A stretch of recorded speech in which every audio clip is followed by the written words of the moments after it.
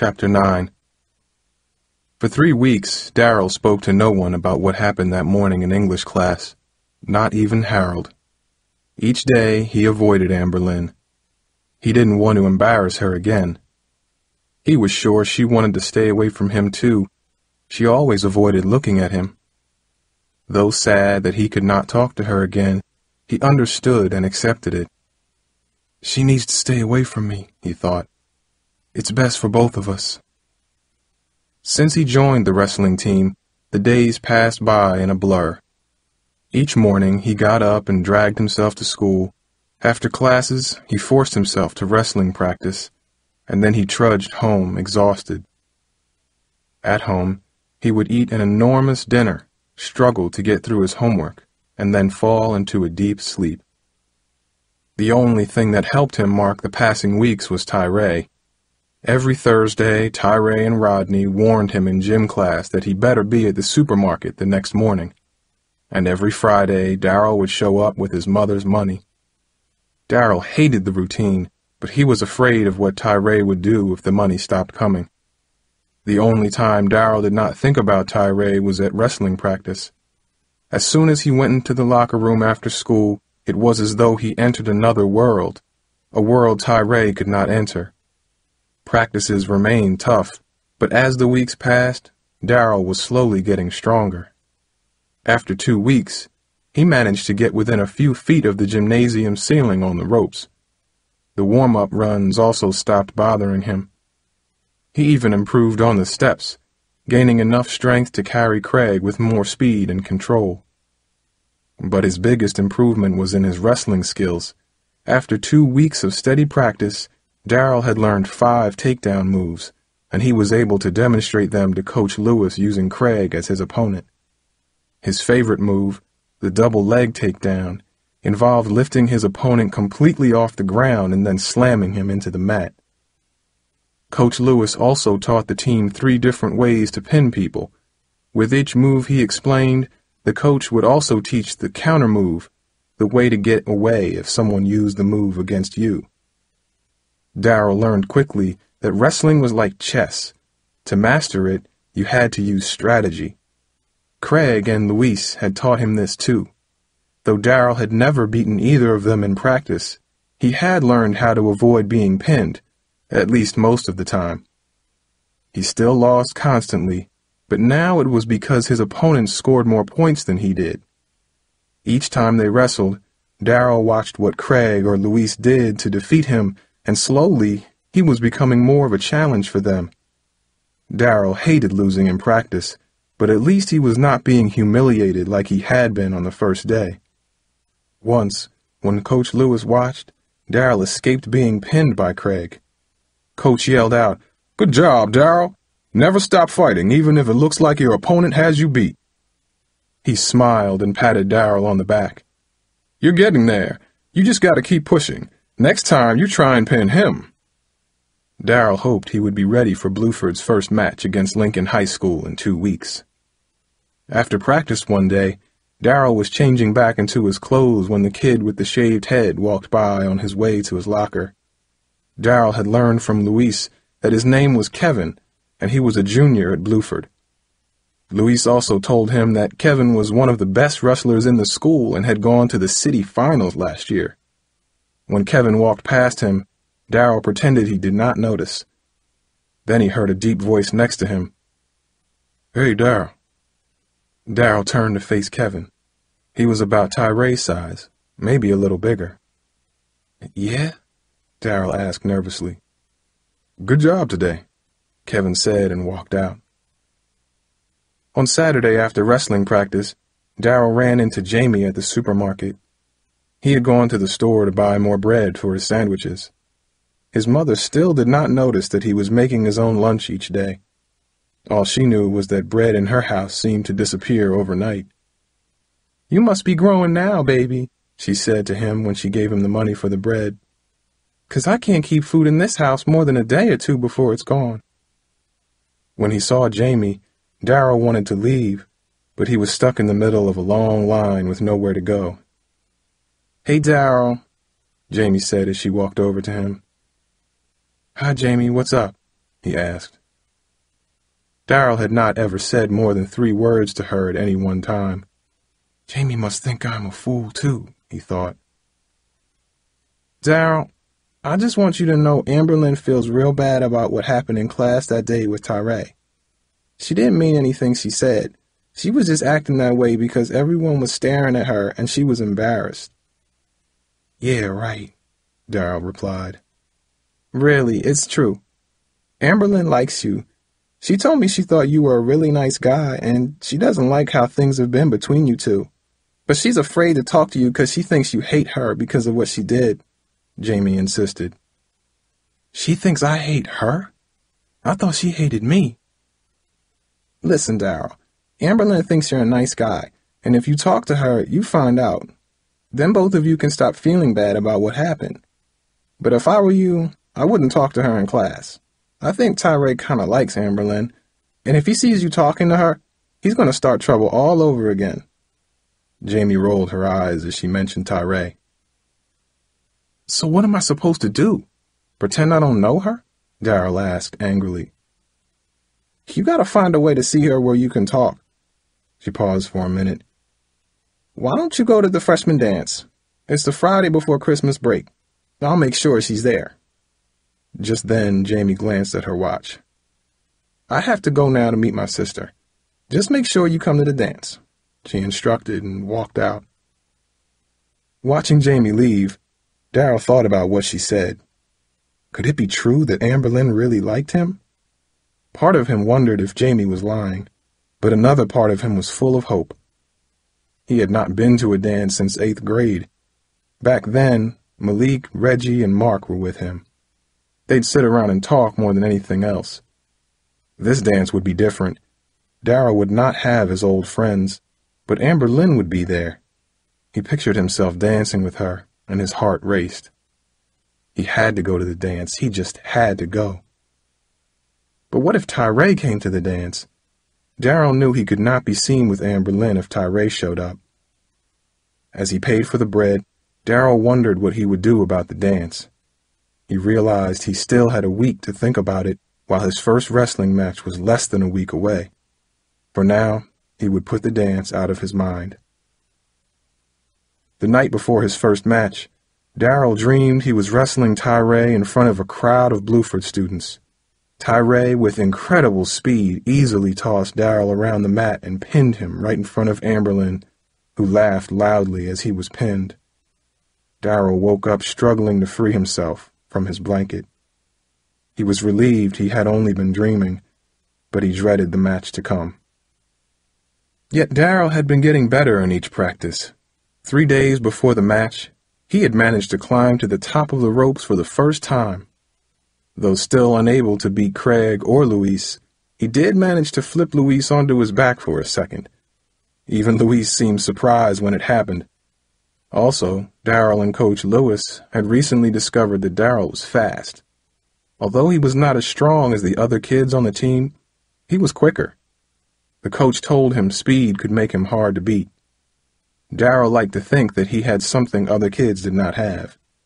It was the first time he felt that his size was not hindering him. What made Darrell even happier was his weight. All wrestlers had to weigh themselves before the match with Lincoln to make sure they were in the right weight group. When Darrell stepped on the scale, he discovered he had gained several pounds since he joined the team four weeks ago. He now weighed nearly 115 pounds. Mom's right, he thought when he looked at the scale. I'm finally growing and there was no fat anywhere on his body. The day of the match, Darrell walked in and out of classrooms like a zombie. His mother promised him she would come to see him wrestle, and Darrell knew she would bring Uncle Jason.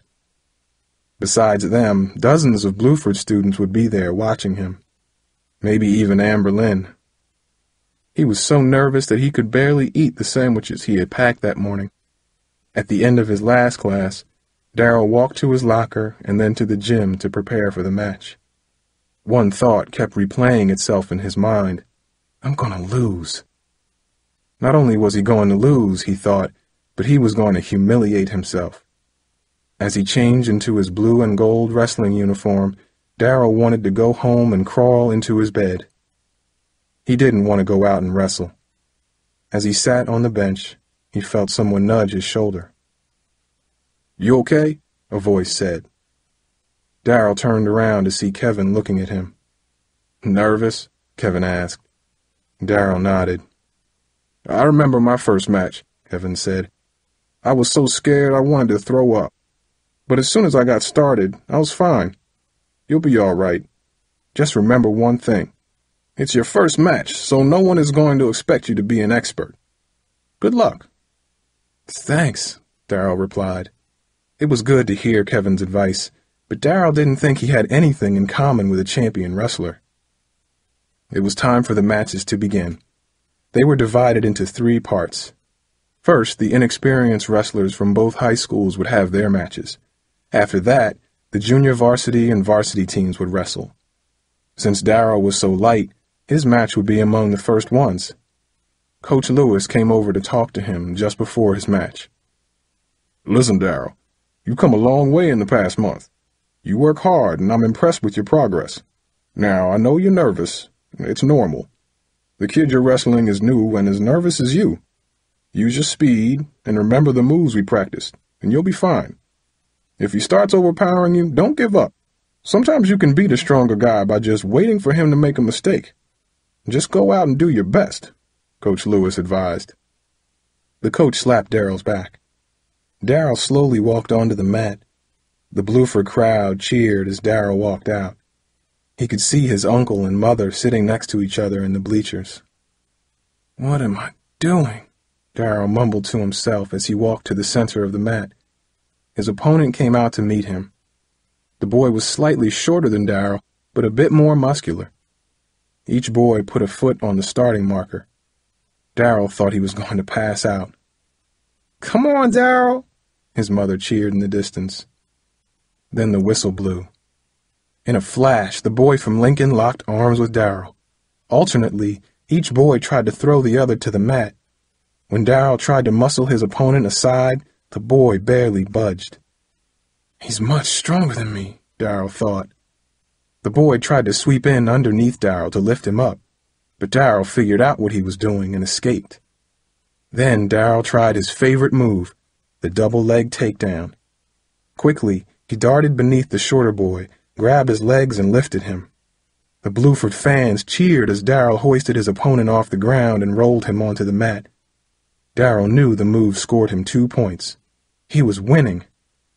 Just then, the whistle sounded. The first two-minute round was over.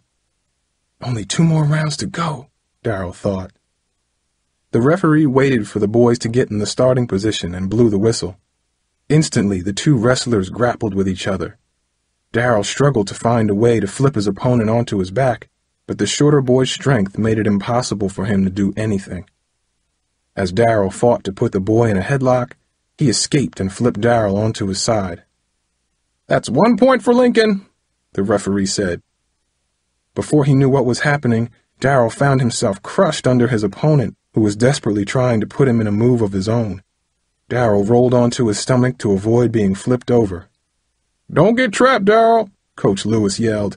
The boy from Lincoln was fast. He wrapped his legs around Darrell in a move the coach called a grapevine. The move took away Darrell's leverage, so he had no way to stop himself from being rolled onto his back. Each second they wrestled, the boy seemed to lock up another one of Darrell's limbs. Darrell felt himself being tilted over. Stay off your back, Coach Lewis screamed. Darrell was exhausted. His back was being wrenched and twisted. One of his arms was trapped, and his legs felt like they were chained to a wall. He flailed out his free arm, trying to get a hold of the mat to free himself, but it didn't help. He felt like a bug squashed under a shoe. This is it, Darrell thought. This is where I lose in front of everyone. Then the whistle blew. The second round had ended.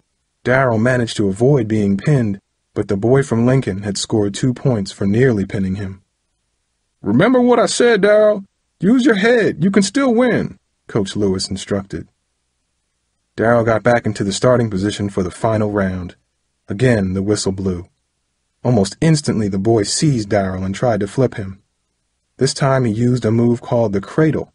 one which Craig had often used against him. Darrell groaned as the boy's forehead jammed into his rib cage. He wanted to give up. If he just allowed the boy to pin him, it would all be over. Use your head, Darrell. You can beat him, Coach Lewis screamed in the distance. Everything seemed to pass in slow motion.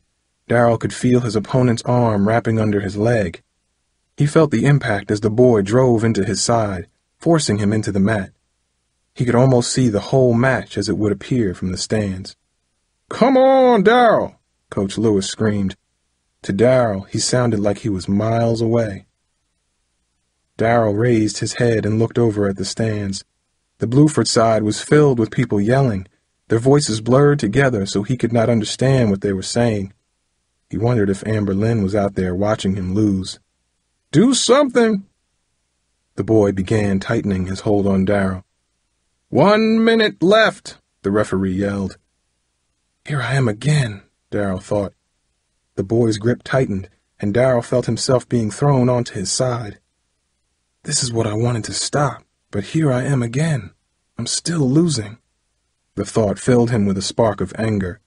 He had not been going to practice for a month just so he could sit in front of his mother and lose.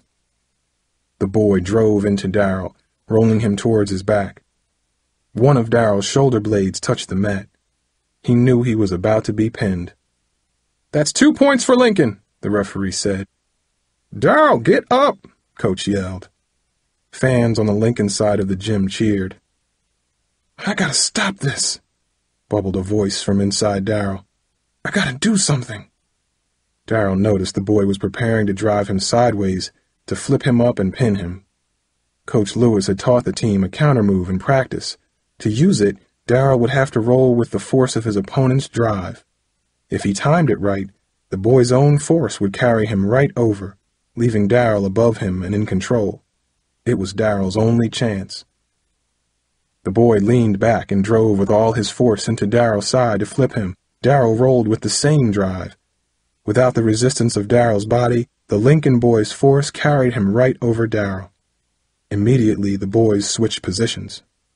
Darrell now was over his opponent. Quickly, he started wrapping the boy into a cradle of his own.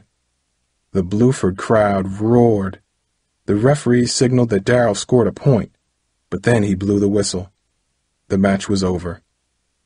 Darrell had lost by two points. As he walked back to his teammates, Coach Lewis came over to him. Good first match, Darrell. You would have had that Lincoln boy beat if you had another minute. But he beat you because you stopped trying in the second round. Remember that. You can't win if you don't do anything. Then you're just defeating yourself when your opponent doesn't have to work at all. As soon as you used your head and started wrestling him, you turned everything around.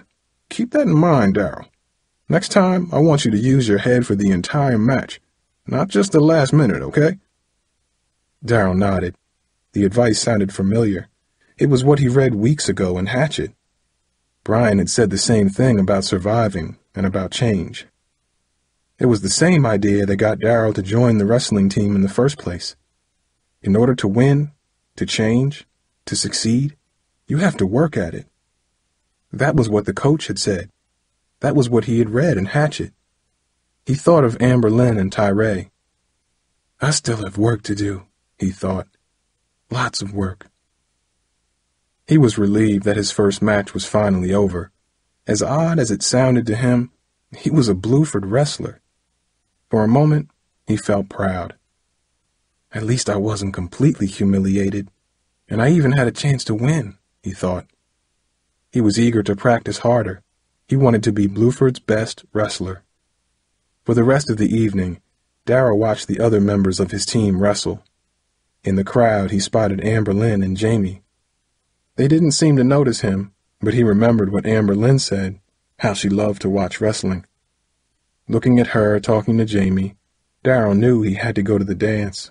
Even if Tyray would be there, he had to go. Otherwise, he thought, it would be just like what Coach Lewis said. If he didn't do anything, he would just be defeating himself. After the match, Darrell met his mother and his Uncle Jason. Darrell, I am so proud of you. You looked great out there, his mother said, giving him a hug.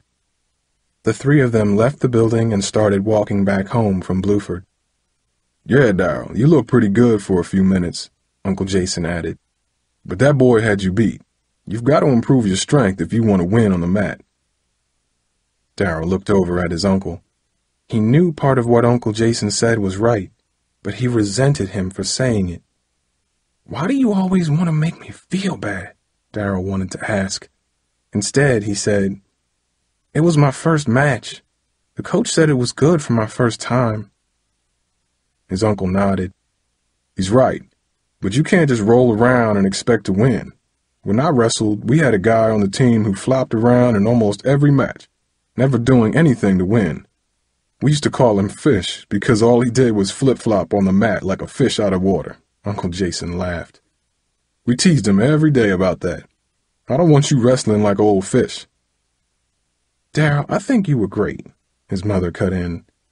I was proud to be your mama. Darrell could barely hear her. His mind was still on what his uncle had said. Uncle Jason's comment made him feel as though all the work he had done for the past month was for nothing. He imagined what he must have looked like on the mat, how foolish he seemed in front of Amberlynn. Nothing had changed. He was still the same scared kid from Philadelphia. Rage boiled in his chest. He hated his uncle for robbing him of the one moment when he was almost pleased with himself. Darrell wished Uncle Jason had not come to the match. He wished he was not his uncle. As Darrell fought to control his temper, his uncle continued talking. And one more thing, Darrell. The way you... You ain't my coach, Darrell interrupted. They had reached his uncle's driveway. What? Uncle Jason asked. He turned his head to look at his nephew. You ain't my coach, so I don't need your advice, okay? Darrell, don't you be rude to your uncle. He's only trying to help you, his mother snapped. I didn't ask for his help, Mom. Look at me. Do I need to hear from him that I look bad on the mat? Do I need to be told that I'm no good? I know it already. He don't need to say it. Darrell stormed toward the apartment door. Uncle Jason stood there in the driveway, shaking his head. I'm only trying to give the boy some pointers, that's all. What's his problem, Jackie? Darrell slammed the door behind him. He was not going to talk to his uncle again.